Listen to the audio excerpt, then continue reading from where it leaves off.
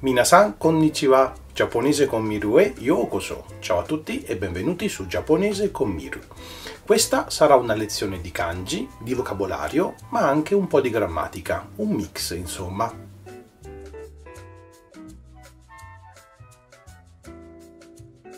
Iniziamo studiando un kanji nuovo. In questa lezione vedremo due kanji nuovi e questo è il primo. Si tratta del kanji di ya, che significa negozio o attività commerciale. In realtà ya ha diversi significati, ha diversi usi, però per il momento mi basta che voi associate questo kanji semplicemente all'attività commerciale. È un kanji un po' particolare, eh, deriva da questo pittogramma dove vediamo un tetto sotto il quale c'è verosimilmente una freccia infilzata nel terreno e che si trova in una posizione verticale. Perché è un kanji particolare? Perché questo tetto è un tetto che ha questa sorta di bocca, no? questa sorta di spazio. Questo tetto particolare si chiama shikabane, shikabane. Quindi il radicale di questo kanji si chiama shikabane e significa corpo morto, cadavere. Si può chiamare shikabane oppure shikabane kammuri. Kammuri significa corona, no? Quindi shikabane o shikabane kammuri. Di solito appunto ha una relazione con la morte, ma non in questo caso.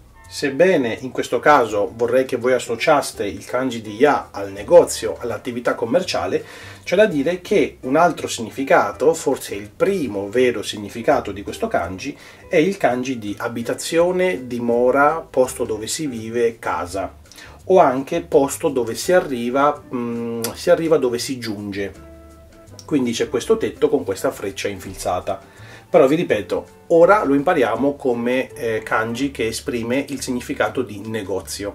Si tratta di un kanji a nove tratti, non è difficile da scrivere. Allora facciamo prima eh, lo shikabane kammuri, che sono tre tratti, 1, 2, 3, poi 4, 5, 6 e poi facciamo la terra 7, 8, 9 lo rifaccio.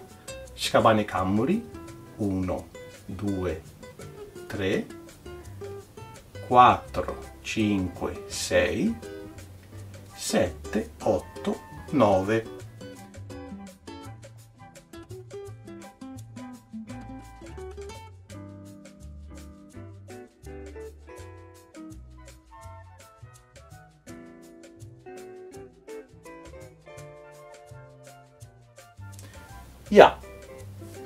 All'atto pratico vediamo che il kanji di ya compare quasi sempre a fine parola.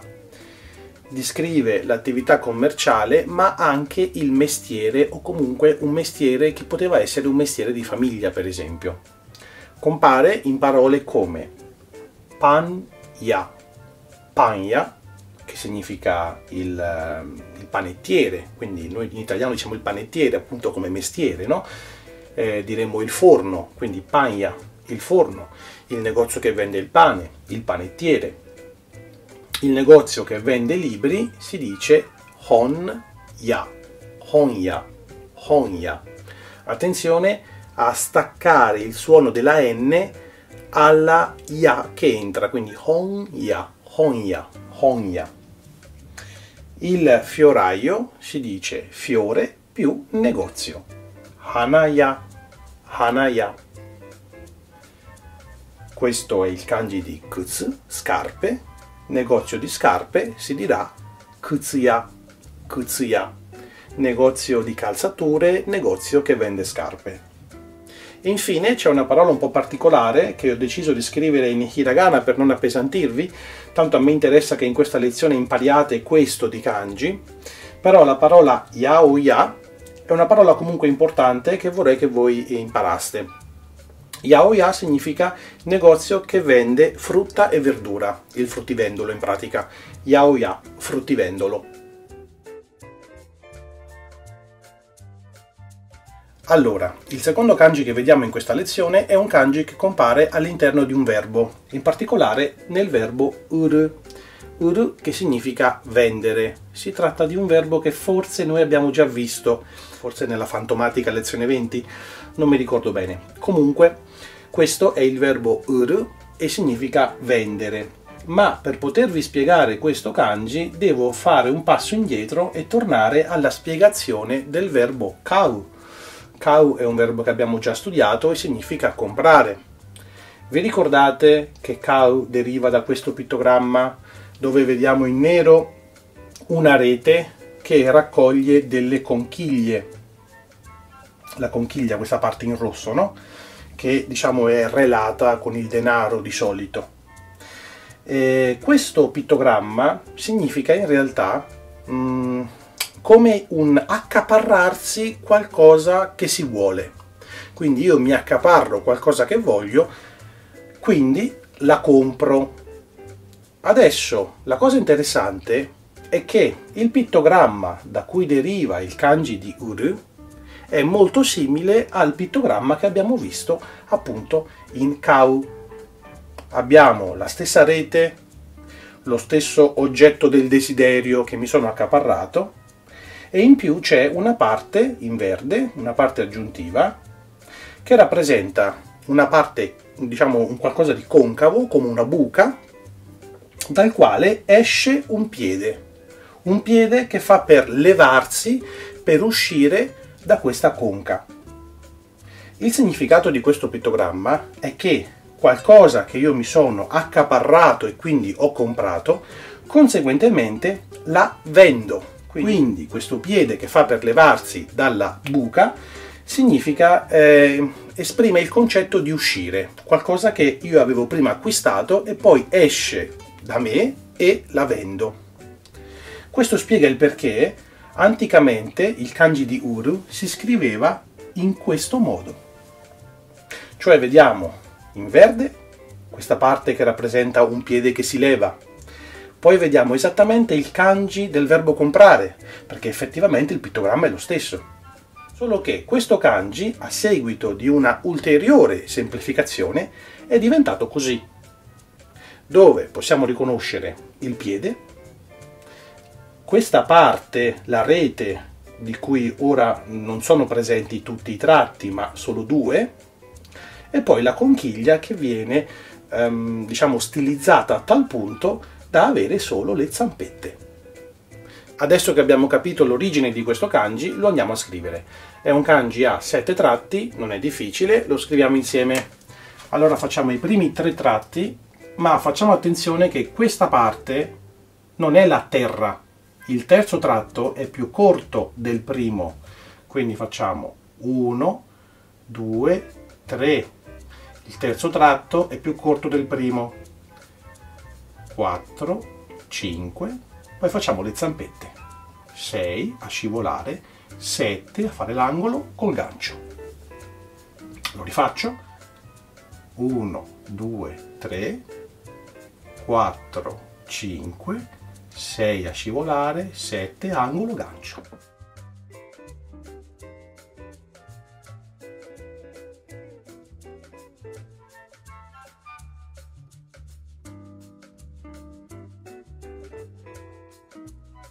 Uru vendere. Adesso che abbiamo studiato kanji e vocabolario, è il momento di mettere tutto insieme e di fare un po' di grammatica. In particolare vedremo una caratteristica della forma te iru dei verbi. Allora, vorrei scrivere insieme a voi una frase. Questa frase eh, non, non l'ho scritta perché vorrei pensarla insieme. La frase in italiano è i libri dove si vendono? Oppure i libri dove vengono venduti? Oppure, dove si vendono i libri? Siete in grado di costruire questa frase? Forse sì, forse no, è un po' particolare. Allora, i libri dove si vendono? Hon wa doko de utte imasu ka? Doko de utte imasu ka? Hon wa どこで打っていますか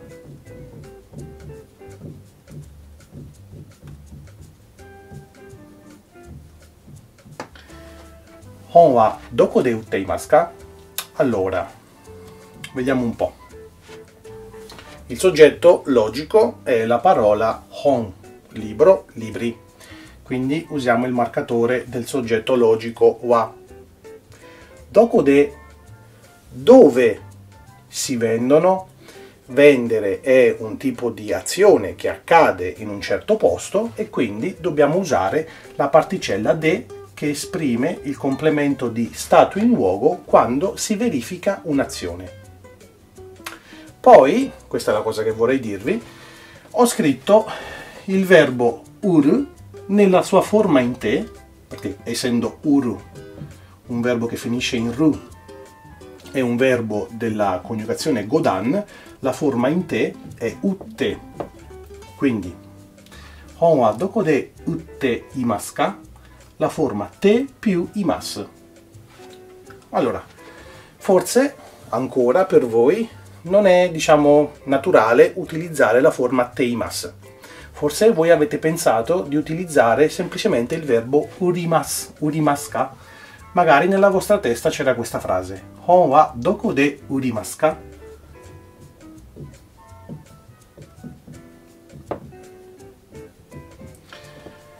Eh, questa è la cosa interessante della forma in te.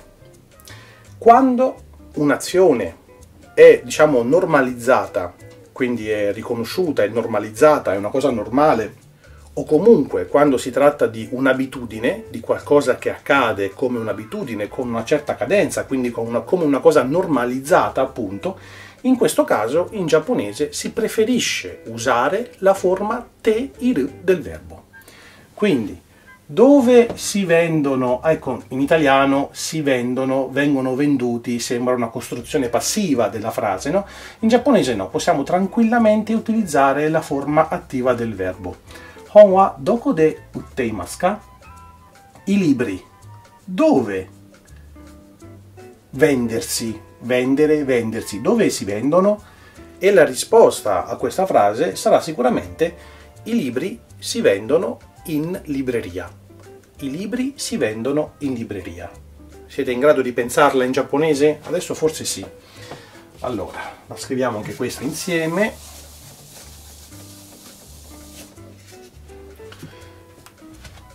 I libri si vendono in libreria. Hon wa honya de utte imasu. Hon wa honya de utte imasu. Hon wa honya de honya de utte imasu. Vado un po' spedito. Ecco che la grafia non è il massimo, ma vabbè si legge. Quindi Honwa, i libri, in libreria si vendono. Ho usato la forma in te imas nella domanda e ho usato la forma in te imas anche nella risposta. Honwa doko de utte imasu ka? Honwa honya de utte imasu. Adesso vi lascio i compiti.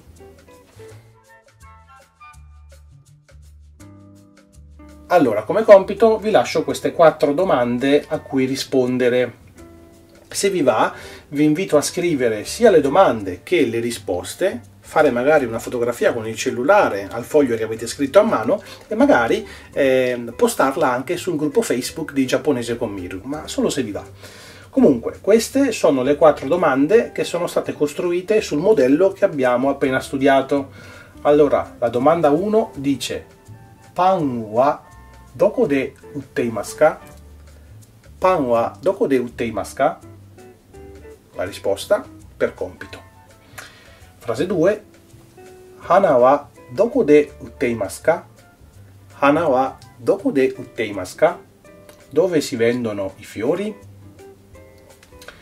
Kutsu wa doko de utteimasu ka? Dove si vendono le scarpe? Kutsu. E poi questa, eh, in questa frase ci sono due parole nuove.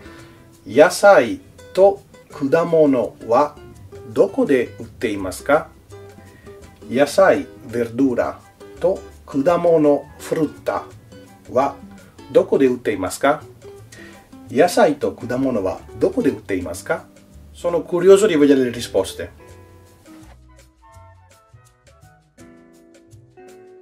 Ed eccoci arrivati a fine lezione e come vi ho detto si è trattata di una lezione che ha affrontato un po' di vocabolario, un po' di kanji e anche una parte diciamo grammaticale.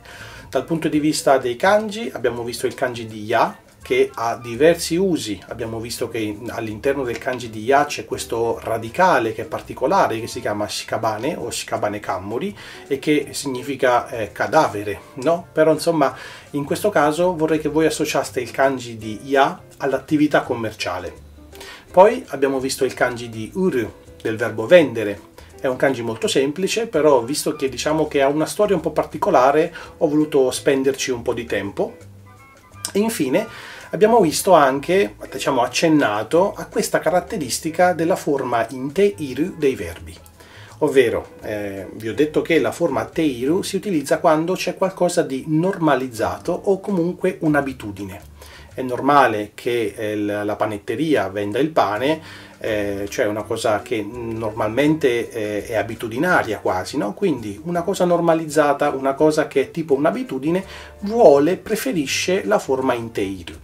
Questa è una cosa che io reputo abbastanza importante e quindi diciamo ci tengo a puntualizzare, però sicuramente lo rivedremo anche nelle lezioni successive. Io comunque spero che la lezione vi sia piaciuta, vi invito a venirmi a trovare sul gruppo Facebook di Giapponese con Miru, vi invito a mettere un pollice up, a condividere con i vostri amici e a fare l'iscrizione al canale, insomma fa sempre piacere, e comunque noi ci vediamo nella prossima lezione. Ciao, matane!